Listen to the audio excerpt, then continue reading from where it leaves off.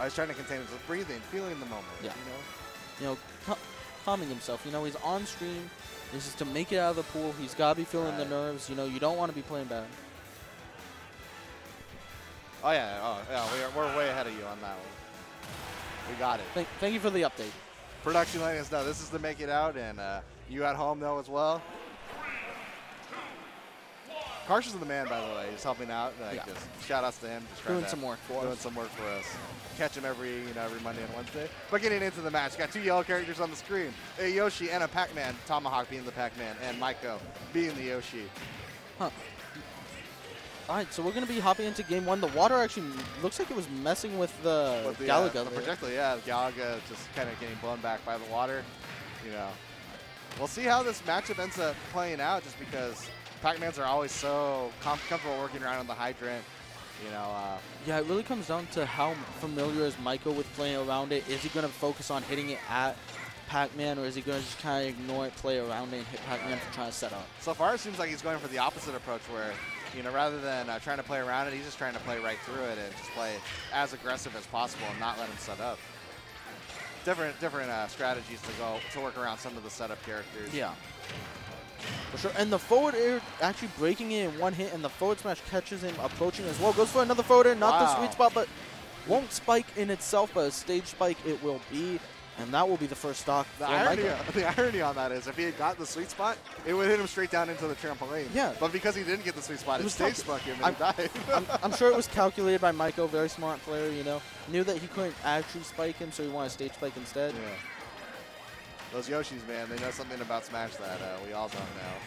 And they're all diehard Yoshis usually. Like all the time. Oh, yeah. Yoshi, ride or die. Yoshi made sure to love the character. All right, the bell coming out. He's going to re-grab it, trying to catch Maiko, but not going to do it. Not able to pick it up again. He's got it set up, but it seems like he's getting, you know, Maiko's getting more mileage out of the hydrant than Tomahawk what is was- for sure. Oh, Oh my was that, god. Maiko? Set up an up special, forced an option, and got the forward air spike.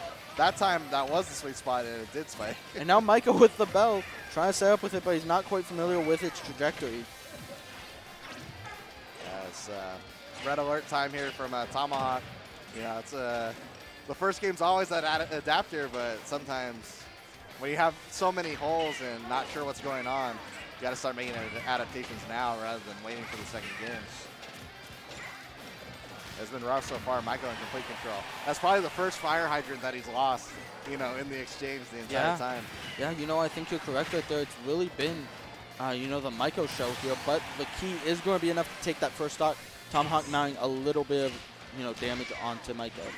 Yeah, caught him sleeping just a little bit. I wonder if Maiko just didn't really pay attention that the key was out. Ooh, St- Pac-Man has the Stairmaster combos too. Yeah, looking for the Galaga, just uh, repeat. Because it loops back, you can catch it again and use it to continue the combo string. All right, but this stock looking actually really good for Tomahawk right now. Racking up 78%, but now that Maiko has an opening, he's running with it.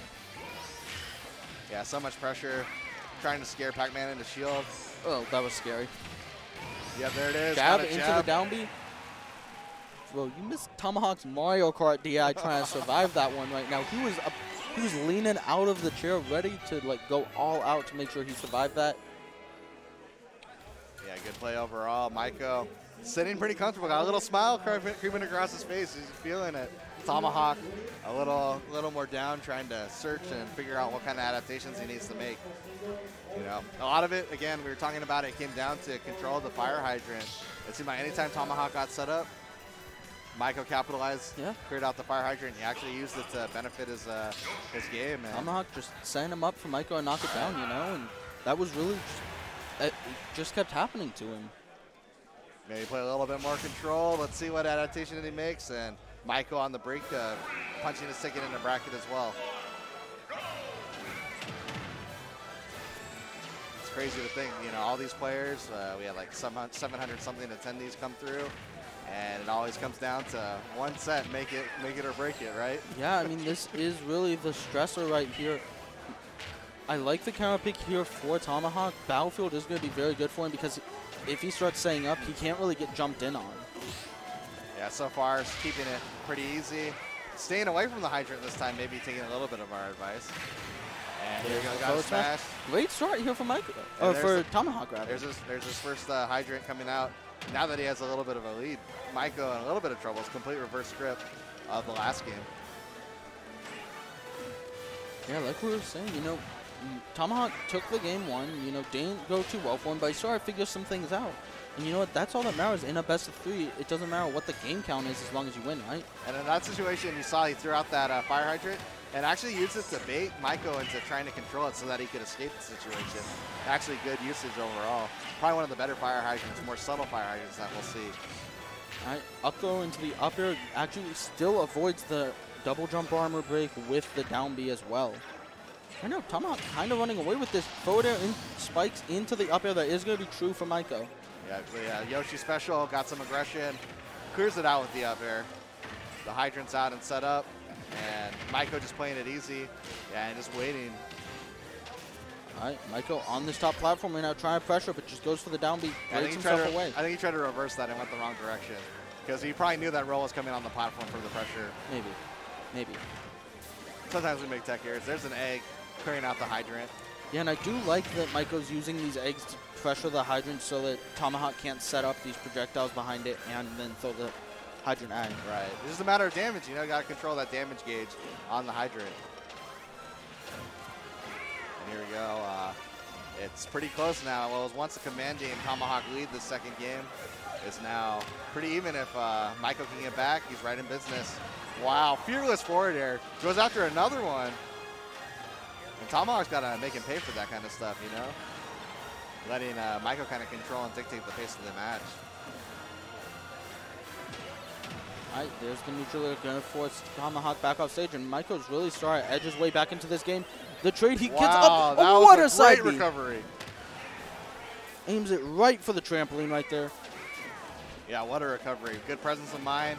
Side specials barely makes it back to the trampoline, and he's still in it. It's even. Otherwise, he'd be behind at this point, and red alert for dropping the set. Big plays, critical moments. Ooh, lot of shield pressure right there, but a quick key throw is going to be able to get the pressure off of him. Pressure Uh, with the bell, but Yeah, he had the bell. I thought he had a grab situation right there with the shield pressure coming through. unfortunately, I don't think he could have really got much Yeah. with the grab. Maiko knew it, so he opted to say, you know what, worst case scenario, I get grabbed, we reset.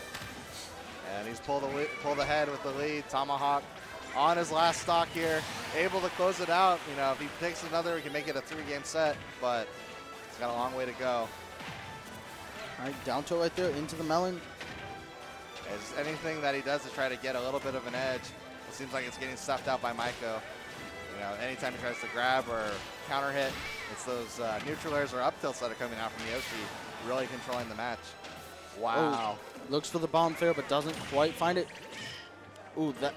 I'm not sure that was supposed to be a forward smash. It might have been trying to short hop forward air or something like that to cover it. Or it could have been like trying to scout out the air dodge. Maybe, maybe. You know what? He he did it though. That's all that matters. Tomahawk's still alive in this game, but barely. There we Bell? go. Big hit with the bell. He still has it. This is his opportunity to really make it happen. All right, he's working his way back into this game. Dangerous percent for the two of them. Maiko trying to poke through the platform with the up smash, not Yeah, he's just running in and out smashing Raw. man. Maiko wants to win. He just, let me end it this way. It's gone on way too long. Close set though. Pac-Man's got a little bit of work to put in some damage, but maybe a rogue support smash, you know, catching Maiko being overly aggressive could Back be throw. enough. Luckily for Maiko, the he was the one that broke the hydrant, so it will not hit him. And tell me it's gonna. Oh my God. Okay. Like, tell me it's gonna come down to a scruffle for the uh, for the hydrant. Here's a throw, Throw not enough though? to kill. Not even close to killing, unfortunately for him. But the melon's out. Great use of the up air. Challenge the Z drop melon. Now he's pressuring Tomahawk. Tomahawk has to find a way up the neutral Oh, air. neutral air and that pokes through. Maiko takes it 2-0 and advances. Popped the nooch and took it out. Tomahawk shaking his head just a little bit. You know, it's unfortunate. Maiko uh, trying to get his results on SoCalSmash.net, trying to climb his way up the leaderboards and makes it into the bracket.